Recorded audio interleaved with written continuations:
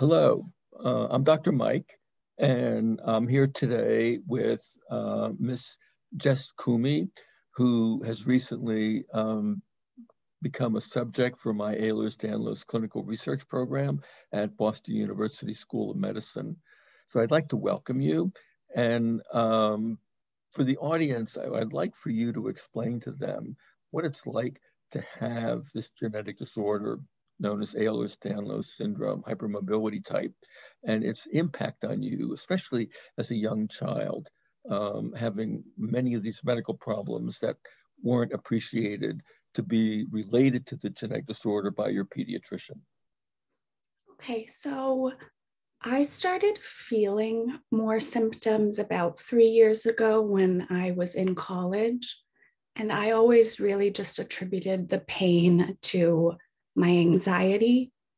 Um, I didn't know if it could be anything else. I kind of just thought my anxiety was causing all of this pain until I realized the pain wasn't going away.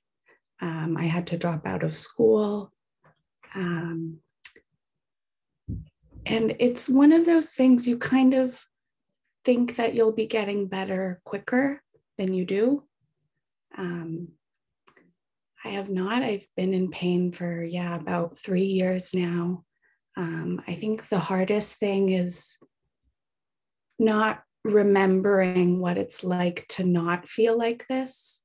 I have a lot of back pain, shoulder pain, hip pain. It's all over. Um, it really limits a lot of my life right now.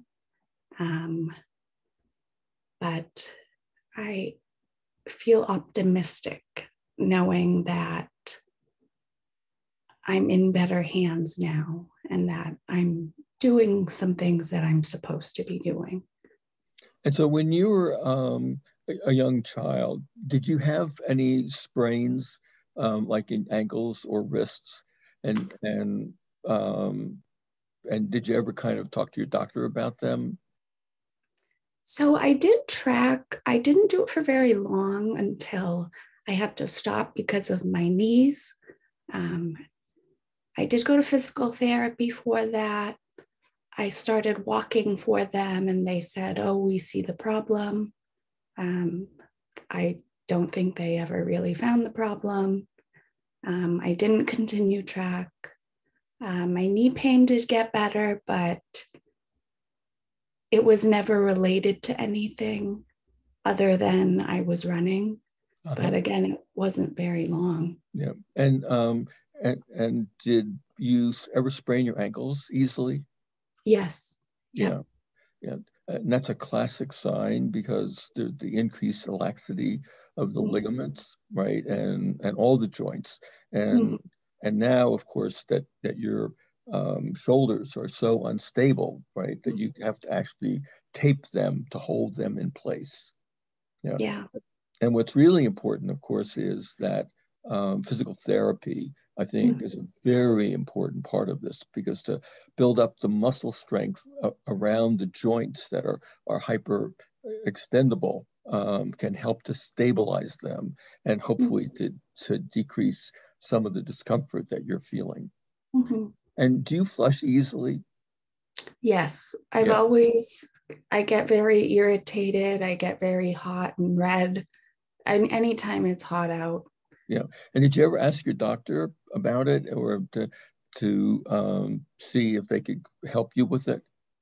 No, again, I always just thought it was my anxiety, being right. an anxious person. Yeah. Yeah. Mm-hmm. And it's and it's what's known as mast cell hypersensitivity, right? Yeah. It's those immune cells that release histamine um, mm-hmm. that cause the dilation of your blood vessels and can make you look like you're embarrassed when in mm-hmm. fact it's just it's simply due to overactivity of these cells and it also makes you sweat profusely sometimes mm-hmm. and it's a classic sign and mm-hmm. also when you get up quickly feel lightheaded yes yeah heart beating fast in your chest Yes, I think um, you were the one that found a heart murmur. Yep, yep. Mm-hmm. And so the reason for that is um, that um, because when you're getting up quickly, the blood vessels can't constrict as quickly, and the blood is flowing out of the head, the brain gets upset and starts to speed up your heart. So people feel lightheaded and um, and can compensate by trying to get up less quickly um, so that they don't have that type of symptom. Often mm-hmm. doctors are telling patients that, well, you're just dehydrated, drink more water. But of course, that's not going to help at all. Yeah. Yeah. And what about, do your joints click? Yes, um, especially my knees. Um, my shoulders, it's almost like it, it, feels like my scapula is like rubbing against my rib cage almost. Yeah. Yeah. yeah. And so, what I recommend is um, to be using braces um, on on on um, various joints to help to to um, kind of stabilize them um, mm-hmm. to reduce risk of destroying the articular cartilage and mm-hmm. decreasing risk for osteoarthritis, um, yeah. which can come earlier in life. Mm-hmm. Yeah, yeah. Well, it was certainly a pleasure um, to have you as part of our clinical research program.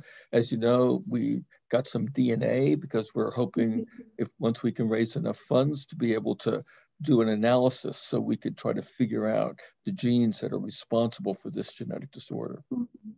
Yeah, and that was one of the funny things because I did take the genetic test for Ehlers-Danlos and that came back negative, which was kind of even more confusing. Right.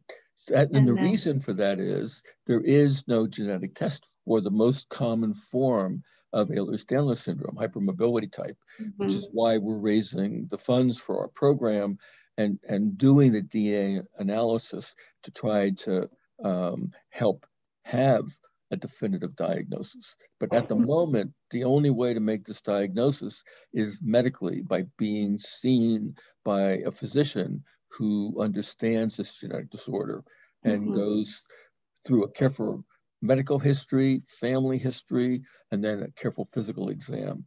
Mm-hmm. Well, thank you so much again for your time. You. Yep, and we'll definitely stay in touch. Have a good day. Thank you. You too. Thank you. Bye. Bye bye.